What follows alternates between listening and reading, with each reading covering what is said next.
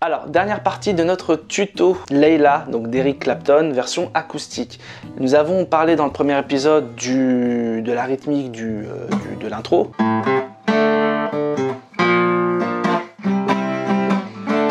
Voilà, on a parlé du solo dans le deuxième épisode.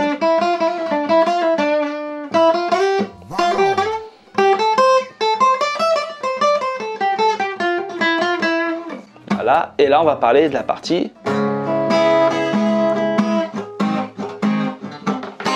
la partie couplet pour pouvoir, euh, pour ceux qui le souhaitent, chanter par-dessus par exemple.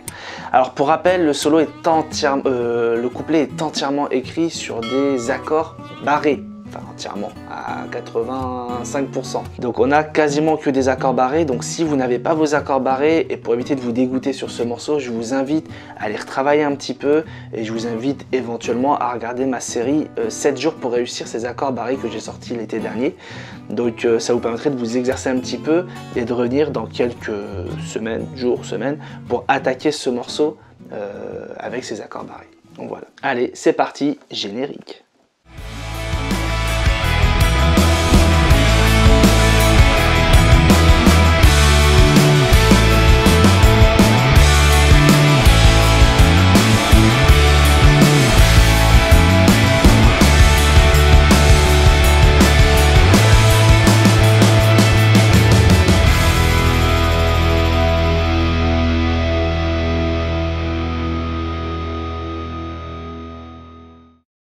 Alors, je vous envoie le couplet. On va démarrer avec cette position d'accord là. Je vais vous mettre des petits diagrammes euh, au tableau, c'est l'habitude ça. J'ai des petits diagrammes à l'écran, comme ça vous pourrez euh, avoir le doigté précis de ce que je suis en train de faire. Là, je joue sur un Do dièse mineur 7. Et si on regarde la tablature, ça nous fait 1 et 2 et 3 et 4 et. Et juste sur le et du 4 du Sol 7, il prend par anticipation de nouveau le Do dièse mineur 7. Ce qui donne Sol 7. 1 et 2 et 3 et 4 et 1. Et là, j'ai raccroché avec la mesure suivante qui est en Do, mineur, do dièse mineur 7. J'enchaîne. Ça me fait mesure 3 donc du couplet 1, 2 et 3, Do majeur, Ré majeur, majeur. Donc ça fait Do, Ré, Mi, hein, qui sont joués donc Do, Ré, Mi, sauf qu'il est fait en accord barré. Do, alors où suis-je? Ça fait. Donc j'ai mon Do dièse mineur qui fait 1, 2 et 3 et 4 et 1 et 2 et 3 et 4. Donc je vous rejoue la quatrième mesure du couplet qui fait 3, 4 en mi majeur, 1 et 2 je lève mon annulaire 3 et 4 et dead note. Pas mal de petites choses là-dedans. Je reprends 3, 4 et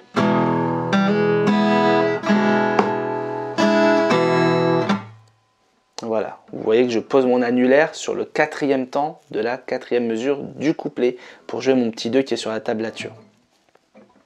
Qu'on a levé juste avant pour faire la- l'accord mi, euh, maj- euh, mi 7. Pardon. Ok, j'enchaîne sur la suite. Donc on a un Fa dièse mineur 7, je crois que c'est l'épisode 2 d'ailleurs des accords barrés accessoirement. Donc je reprends le couplet en entier jusqu'à la mesure numéro... bah, jusqu'à la fin du couplet, puisqu'après tout se répète. 3, 4 et 1 et 2 et 3 et 4 et 1 et 2 et 3 et 4 et 1, 2 et 3, 4, 1 et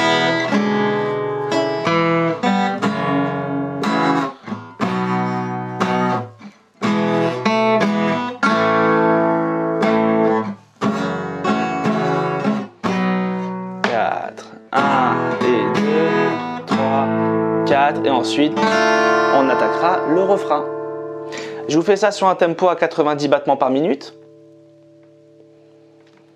Ensuite à 75 et ensuite à 50. C'est parti. Donc couplet 1, 2, 3, 4 et...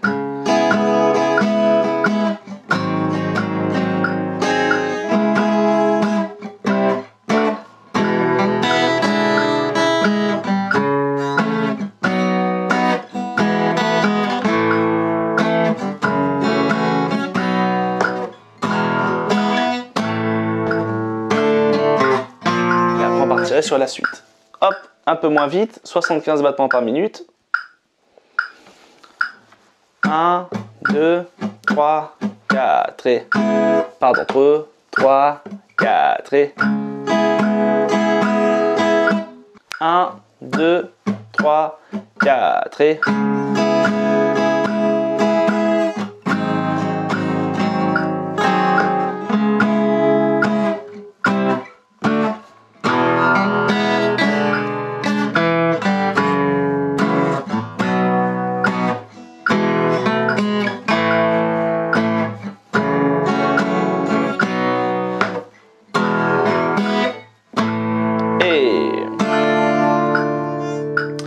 pour clore ce deuxième épisode, je vous le fais à 50 battements par minute.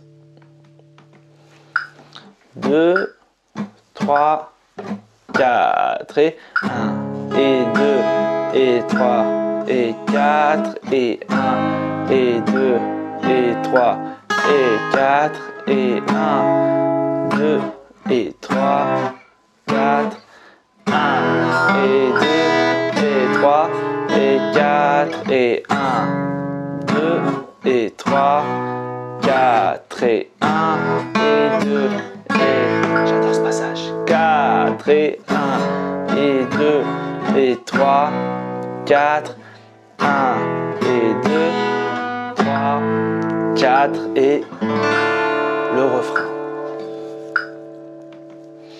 Eh bien écoutez, c'est pas mal tout ça. Donc on a maintenant l'intro, on a le solo et on a le couplet.